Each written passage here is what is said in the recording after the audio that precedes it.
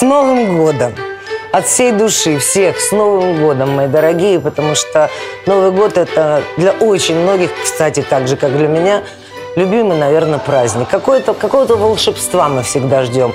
Поэтому я вам желаю, чтобы он был волшебным.